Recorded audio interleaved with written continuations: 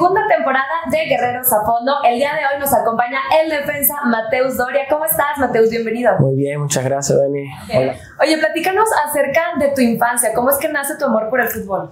Bueno, creo que en mi país la gente ya, ya nace jugando fútbol. Desde empecé a caminar, nuestro primer regalo un balón de fútbol, o sea, donde vivía jugaba todo el día. Creo que siempre, siempre quise mucho el fútbol, sea. Y siempre tú estás platicando que vamos a jugar como en la favela. Platícanos qué es la favela.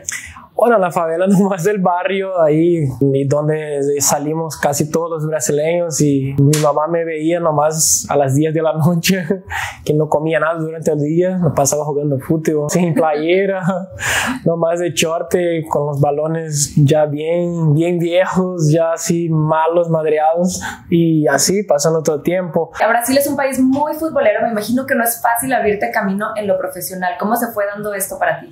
Bueno, yo empecé a jugar así eh, en club mismo, nada, jugaba por diversión.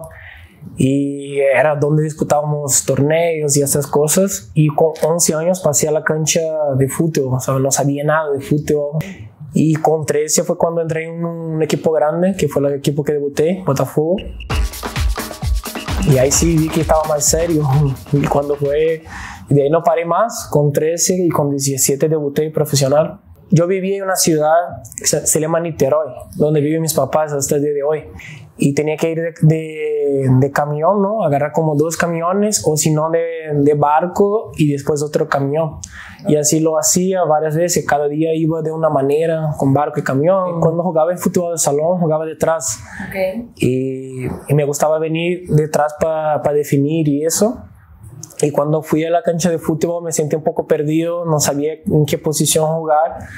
Eh, intenté de lateral izquierdo también así, pero ir y venir así me no alcanzaba muy bien.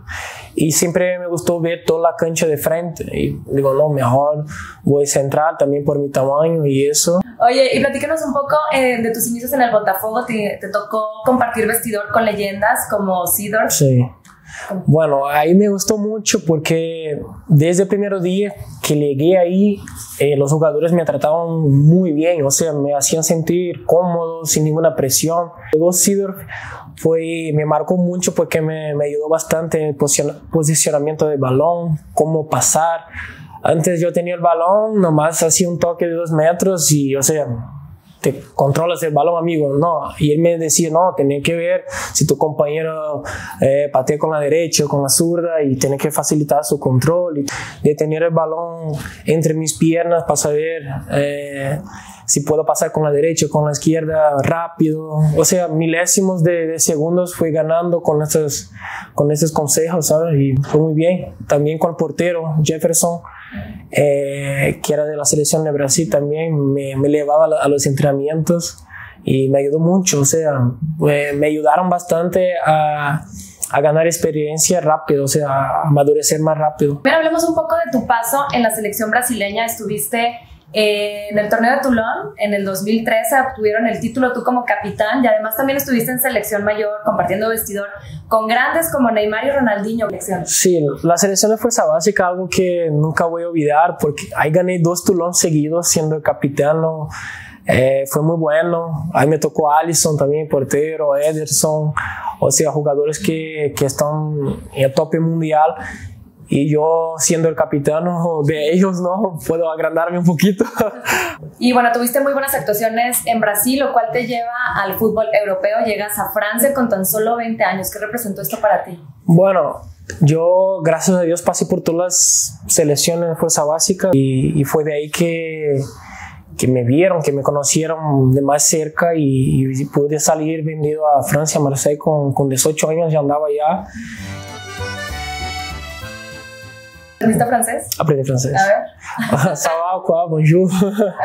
Oye, y en tus, en, tus, inicios en Francia no lo pasaste del todo bien al principio, y luego llega Rudy García y te empezó a ir mejor. Así es, cuando llegué andaba Bielsa allá, eh, tuvo una pelea entre él y el, y el presidente, una falta de de información porque decían que yo iba a llegar un día, luego decían no, ya no viene más, el otro día llegué sin que Bielsa se enterase y bueno, se enojó y no quiso ponerme, ya, pero ahí batallé, uh, trabajé mucho con él, aprendí también bastante con él.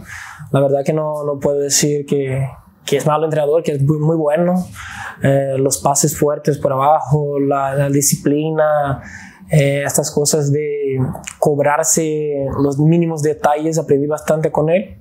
Rudy García me gustó mucho porque fue uno de los entrenadores que agarré sí de manera más frontal y verdadero, ¿sabes? Eh, con él logramos eh, clasificarnos a, Europa League después de mucho tiempo, después nos metimos a Champions League después de mucho tiempo, él venía de Roma, eh, de haber trabajado con Totti y después llega y me tratan de la misma manera que, que jugadores grandes, hizo o sea, tengo todo mi respeto con, con, ese entrenador porque siempre me trató muy bien y siempre fue frontal y me hizo crecer, aprendí mucho con él. Eh, estuviste también en el fútbol español, específicamente en el Granada. ¿Cómo fue esta experiencia de estar jugando con algunos de los mejores equipos y jugadores del mundo? Ahí, bueno, cuando llegué en Francia no había debutado en Europa. Nomás jugaba en, en el segundo equipo de, de Marseille mis primeros seis meses. Y cuando fui a Granada pude jugar un año, pasé ahí, debuté, mi, mi debut en Europa fue contra Madrid en Bernabéu.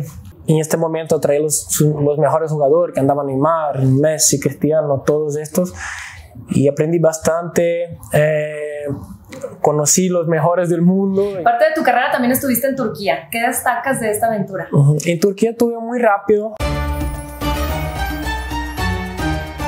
No, antes de, de, venir a Santos, okay. que me faltaba más eh, un poco de tiempo para que terminara mi contrato en Marseille y también quería jugar para poder salir de ahí para un equipo bueno y fue lo que sucedió, vine para Santos, ahí quedé como seis, cuatro meses, que eran, bueno, seis meses el contrato, pero faltaban como cuatro meses el torneo y conocí un poco más de una cultura diferente, muy diferente que los demás. Eh, una cultura que tiene que estar preparado para, para conocer, aceptarla, que no es, no es algo común.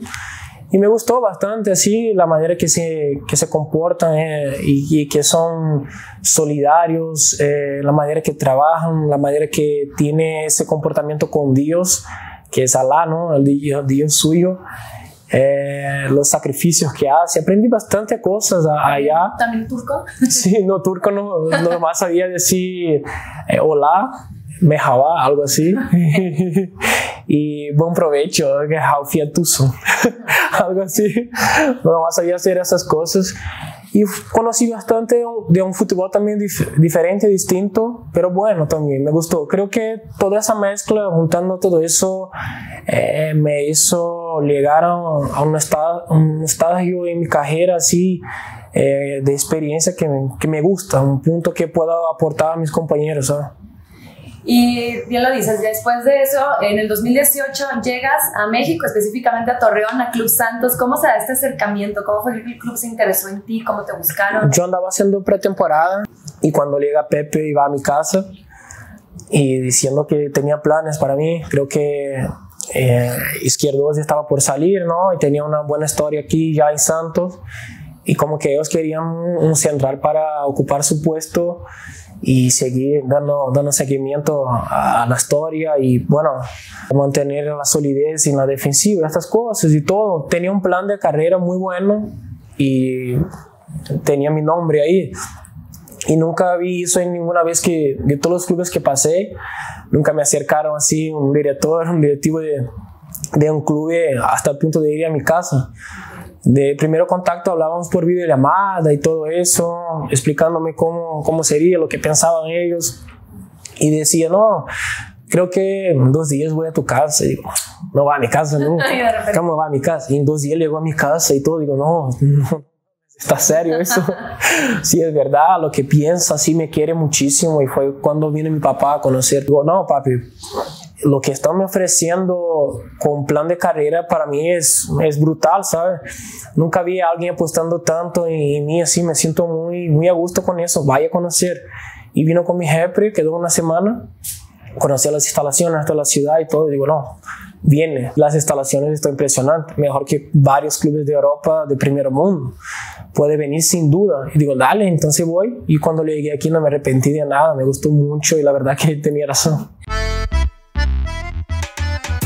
Yo siempre digo, me siento muy a gusto aquí por el trato de, la gente, ¿sabe? La afición me, se porta muy bien conmigo y, y el club. Yo creo que el club, la manera que me trata a mí, a mi familia, me deja muy tranquilo nomás para trabajar.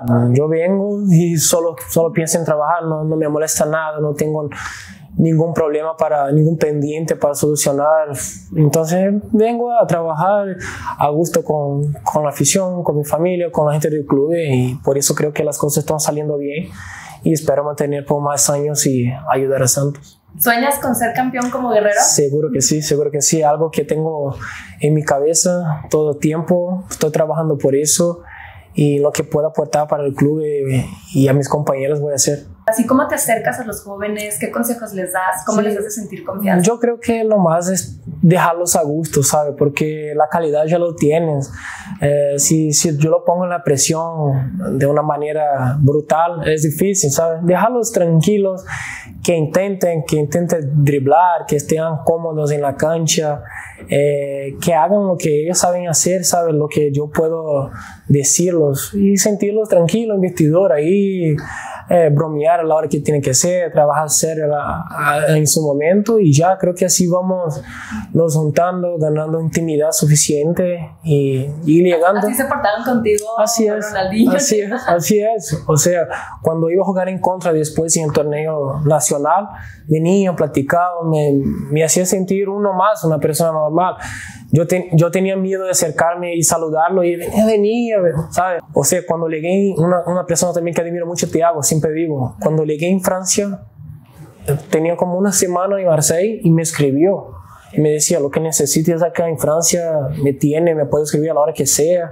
Y digo, no, eso que es.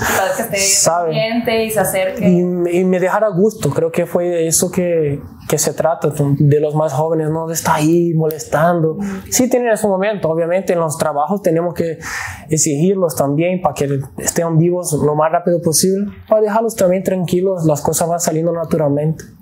Y pues así como lo dices, ¿no? Un día los sueñas y al día siguiente estás trabajando al lado de ellos hay muchos chicos que sueñan con ser futbolistas o otras cosas que nos están viendo. ¿Qué, ¿Qué, les dices a todos esos guerreros que tienen un sueño que están persiguiéndolo? Pues yo creo que batallar, eh, no desistir también. La primera cosa que tengo que decir, no desistir. Si tiene un sueño, va por ello. O va por ello porque si podemos, si, si, deseamos mucho y tenemos responsabilidad, muchas ganas de, de lograrlo, sí podemos. Eh, a veces desistimos muy rápido, ¿no? Por un obstáculo desistimos y no es así. Hay que insistir porque es difícil. Eh, aparte, esta profesión de ser jugador, hay mucha, mucha pelea, mucha gente soñando en ser jugador. Eh, entonces, no desista tan rápido, ¿sabes? Y seguir luchando que sí, sí es posible. Pues muchísimas gracias, Doria, gracias por estar con nosotros. Un saludo a la afición guerrera, que además pues ya nos están acompañando algunos de ellos en el estadio. Así es, gente, muchas gracias ahí por el cariño de siempre. Mando un beso grande a todos y nos vemos ahí el fin de semana que viene. Muchas gracias a todos, muchísimas gracias a ustedes y nos vemos en el próximo Guerreros a Fondo.